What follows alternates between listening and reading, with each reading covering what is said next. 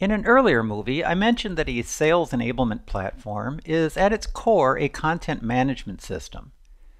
The main purpose of a content management system is to ensure that everyone has the latest version of the content assigned to them. Here's how a CMS works. Users upload sales materials to the CMS, which in this course is Vablet, through a web portal on their desktop or laptop computer. Then the CMS pushes the content to every device that is entitled to that content. If you wish, you can set it up so that some members of the team have access to one pool of content and other members have access to different content.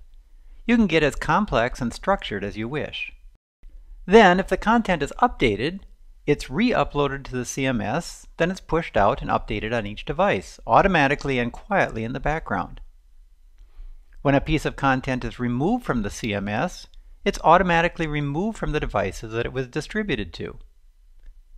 With a content management system in a sales enablement platform, ensuring that everyone on a team has all the materials they need and that they're the latest versions is automatic and easy.